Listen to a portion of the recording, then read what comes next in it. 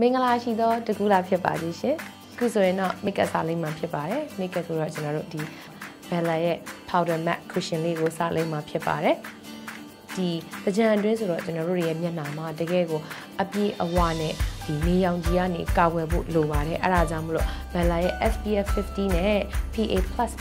ပါတဲ့ဟာဆိုတော့ကျွန်တော်တို့ရေထဲမှာ AACC အနည်းဆုံးတစ်နာရီကနေ2နာရီအတွင်း ခံပါတယ်ဒါပေမဲ့ဒီဘူးလေးကိုကိုနဲ့တကွအမြဲတမ်းဆောင်းထားပါဘာဖြစ်လို့လဲဆိုတော့ပြန်ပြီးတော့လိမ့်လို့ရအောင်လို့ပါဒီတချမ်းအတွင်းမှာလိန်နေပြုတ်နေရေကစားနေမန်တက်ထိုင်နေနဲ့တစ်ချိန်လုံးနေအောင်ကြီးကနေအသားရည်အတွက်ရရှိလာမဲ့ဆိုးချိုးတွေကိုတခါလဲကာကွယ်ပေးပြီးသားဖြစ်သွားအောင်လို့ Bella cushion လေးကိုကိုနဲ့အမြဲမပြတ်ဆောင်းထားနော်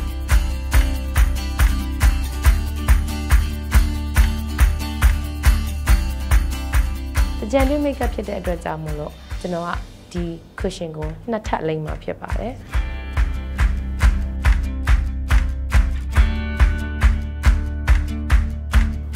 တစ်ထပ်တဲ့အထူးကြီးလိမ့်မဲ့အစားနှစ်ထပ်ပါးပါးလေးလိမ့်မှာဖြစ်ပါတယ်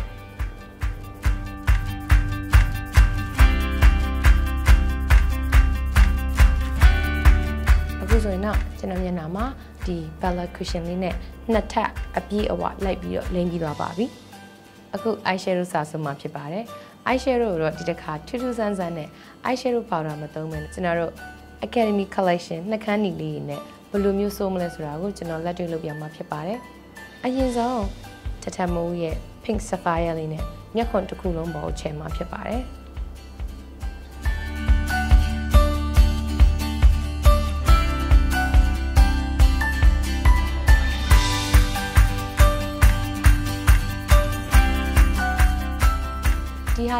အရင်ဆုံးကျွန်တော်တို့ရဲ့မျက်ခွန်ရဲ့အယောင်ကိုညှိပေးတဲ့သဘောအနေနဲ့ဆိုတာဖြစ်ပါတယ်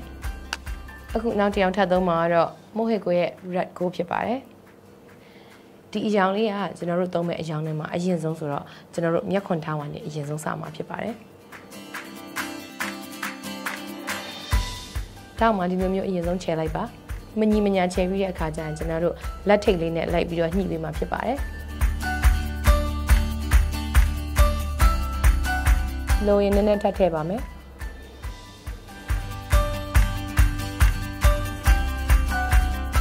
ကျွန်တော်တို့ရဲ့ဒီအောက်မြက်ခန်းလေးတွေရဲ့ဒေါင်းနာမှာလည်းထည့်ဖို့မမေ့ပါနဲ့အခုလိုမျိုးမျက်လုံးတောင်မှာ red gold လေးနဲ့အယောင်လေးထင်အောင်လုပ်ပြီးသွားတဲ့အခါမှာတော့ကျွန်တော်တို့ train draw ရဲ့ goal နဲ့မျက်ခုံအရှိပိုင်းကိုစိုးမှာဖြစ်ပါတယ်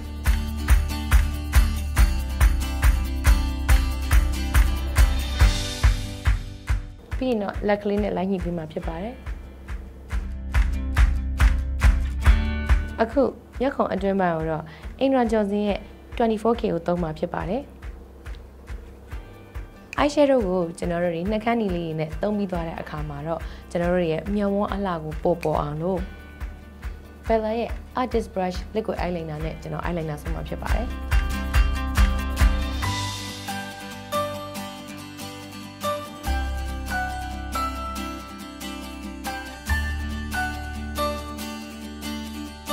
အခု eyeshadow ကိုနှကန်းနီနဲ့စိုးပြီးသွားတဲ့အခါမှာတော့ Bella ရဲ့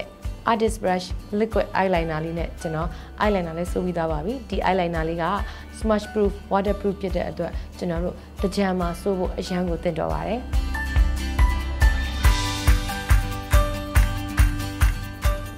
ခုစင်တော့ Bella မြက်ခုံးမှုဆွဲခဲ့တဲ့လေးနဲ့မြက်ခုံးမှုလည်းဆွဲပြီးသွားပါပြီမျက်တောင်ကိုလည်း waterproof mascara နဲ့ကျွန်တော်နှစ်ထပ်လုပ်ထားပါတယ် ဟွန်းအခုဆိုလို့ရှိရင်ကျွန်တော်မျက်နှာမှာပါနီလေးကလိုနေသေးရယ်နော်ပါနီကိုဆိုရင်လည်းကျွန်တော်ကပေါင်ဒါနဲ့သုံးမဲ့အစားဒီ Academy Collection တွေကတက်တက်မိုးရဲ့ Pink Sapphire လေးနဲ့သုံးမှာဖြစ်ပါတယ် Pink Sapphire ဒီဟာလေးကိုနည်းနည်းလေးရှည်အောင်ထုတ်လိုက်ပါပြီးတဲ့အခါကျလို့ရှိရင်ပါဒီပါအိုးလေးပေါ်မှာလိုက်ပြီးတော့ချစ်ပေးလိုက်ပါဒီလိုမျိုးမျက်နှာတစ်ခုလုံးပေါ်မှာ pink sapphire နဲ့ ကျွန်တော်ပါနီဆိုးဖို့အစင်းနဲ့လုပ်ပြီးသွားတဲ့အခါမှာတော့ Bella ရဲ့ magic sponge လေးနဲ့ကျွန်တော်လိုက်ပြီးတော့အယောင်ဖြည့်ပေးမှာဖြစ်ပါတယ် magic sponge လေးသုံးရတာကကျွန်တော်တို့ပုံမှန်ဖော့တုံးလေးသုံးရတဲ့တိတ်မတူပါဘူးဖော့တုံးကြလို့ရှင်ကျွန်တော်တို့တွေကဒီလိုမျိုးလေးပဲဖိပြီးတော့တို့တယ်ဆိုတော့ပုံစံနဲ့သုံးရပါတယ်ဒါပေမဲ့ဒီ magic sponge ဒီလို silicone sponge တွေကြတော့ကျွန်တော်တို့တွေကနည်းနည်းထိပြီးတော့နည်းနည်းလေးဆွဲပြီးတော့ တိတ်ပေးတဲ့ပုံစံလေးသုံးရပါတယ်အခုနှက်ခမ်းနီစာဆိုမှဖြစ်ပါတယ်အရင်ဆုံးနှက်ခမ်းနီကိုကြာကြာခံအောင်လို့ Sugar Lips Collection တွေက cupcake လေးကိုကျွန်တော်အရင်ဆုံးမှဖြစ်ပါတယ်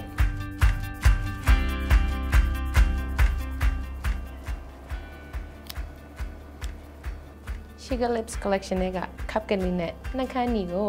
base အဖြစ်သဘောထားပြီးစိုးပြီးတဲ့အခါမှာတော့ကျွန်တော်ကအပေါ်ကနေပြီးတော့ဒီ red gold လေးကိုပြန်ပြီးတော့စိုးမှာဖြစ်ပါတယ်ဒီ red gold လေးကိုကျွန်တော်မျက်လုံးမှာလည်းသုံးထားပါတယ်အဲ့ဒါကြောင့်မလို့နှက်ခမ်းမှာပြန်သုံးတဲ့အခါကျွန်တော်မျက်နှာတစ်ခုလုံးကအယောင်နေတခါတည်းဆက်ထားတာကကြည့်လို့ကောင်းပြီးတော့အဆင်ပြေသွားမှာဖြစ်ပါတယ်